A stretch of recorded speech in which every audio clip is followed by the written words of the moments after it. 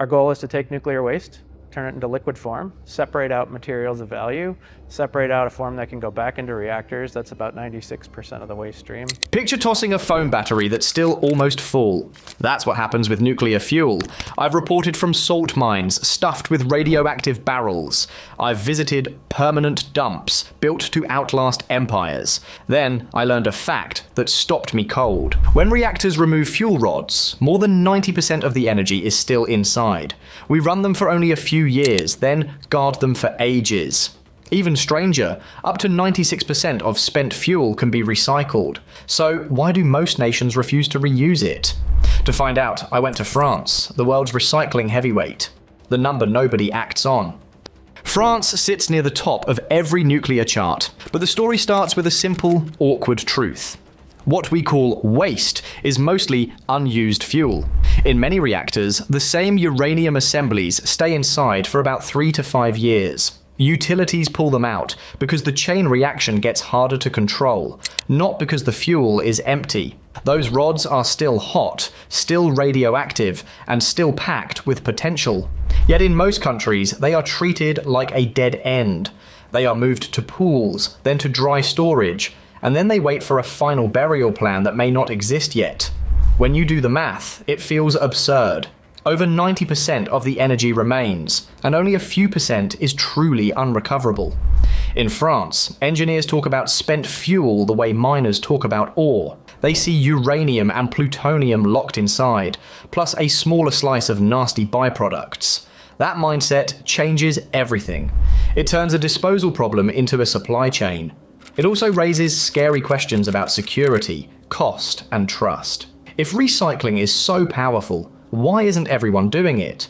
The answer is not one thing. It is a chain of practical barriers, and France is the best place to watch them up close. A maze built for radioactivity.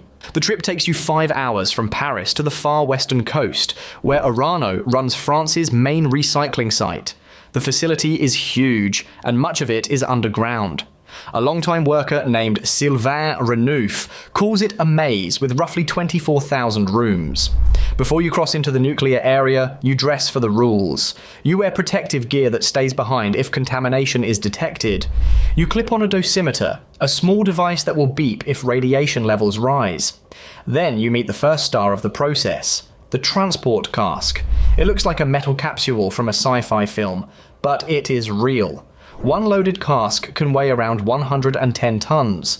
That weight is the shield.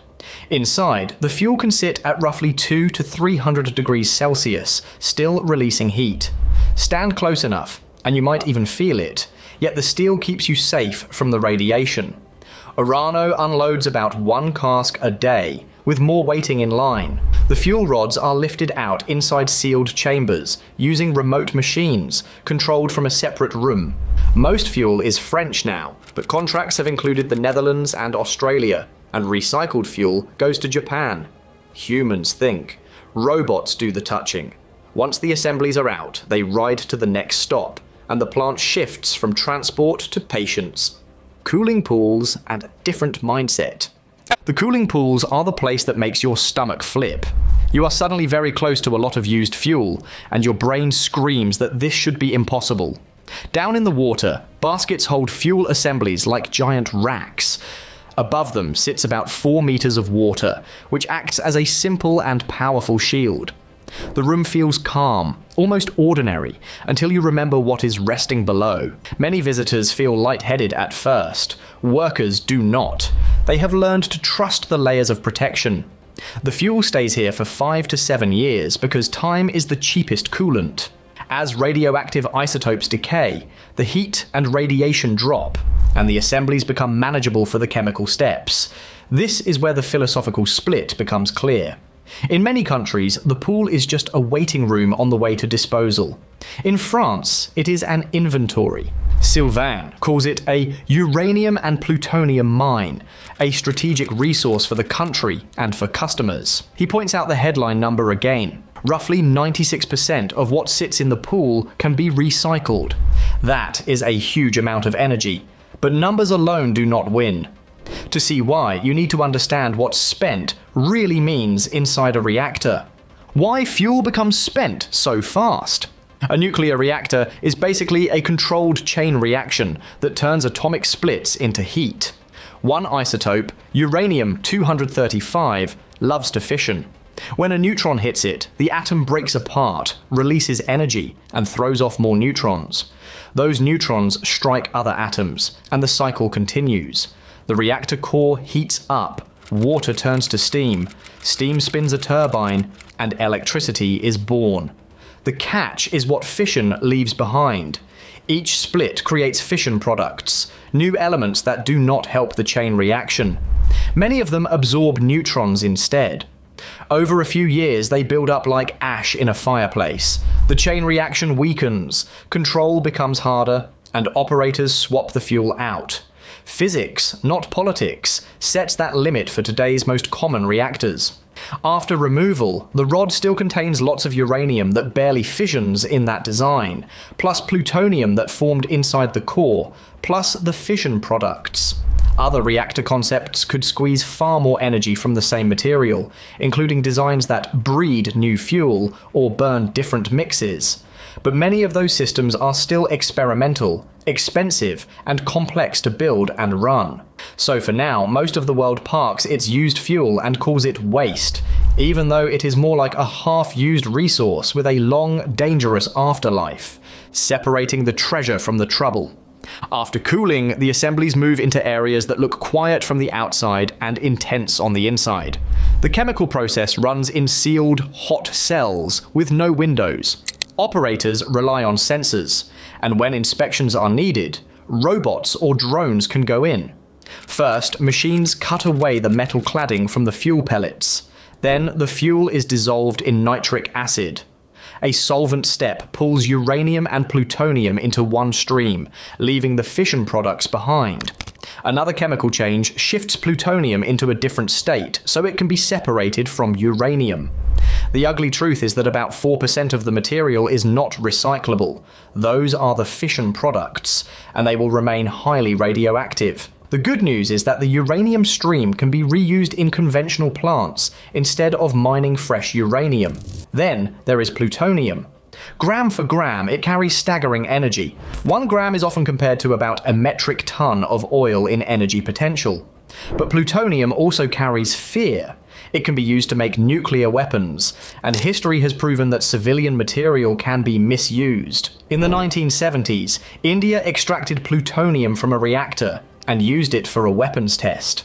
According to former US regulator Allison Macfarlane, that shock pushed the United States to defer large scale reprocessing to reduce proliferation risk. France chose a different path, with heavy security and strict accounting. Orano ships purified plutonium under secrecy with armed escort to be blended with uranium into MOX fuel. MOX can cut fresh uranium needs by roughly 30%, and in France it supplies around 10% of the nation's electricity. Glass, money, and the limits of recycling. Even after uranium and plutonium are recovered, the hardest leftovers remain.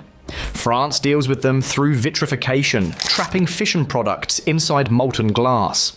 The glass cools into solid forms sealed in steel canisters. In storage halls, those canisters sit stacked in deep pits under floors that can be about 2 meters thick. The space savings are real.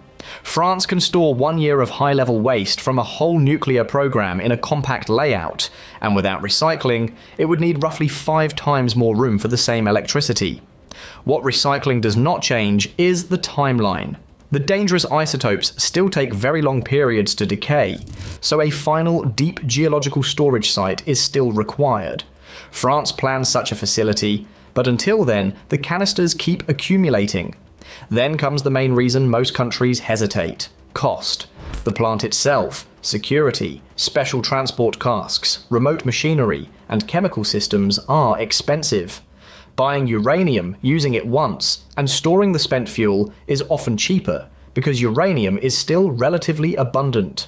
Reprocessing also creates extra waste from chemicals, filters, tools, and contaminated equipment.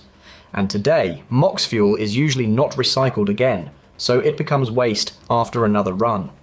That is why only a few players reprocess at scale. France, Russia at a smaller level, India, and China's early facilities. The UK stopped, Japan has struggled with decades of delays, and many nations never started. Researchers are exploring alternatives like pyroprocessing, which uses molten salts and high heat and does not separate pure plutonium, lowering weapons risk. But it is still experimental, and no one knows what it will cost at scale. So, nuclear recycling stays a trade off less fresh mining and less volume, but more complexity, more expense, and no escape from long term storage. So, the crazy fact is real we discard fuel that still holds huge energy. France shows you can recover most of it, turning spent rods into new MOX fuel and locking the rest into glass. But the bill is high, security is non stop, and even recycling cannot erase the need for deep burial. For many nations, it is still cheaper to store the rods and move on. Maybe new reactors or new chemistry will change the math.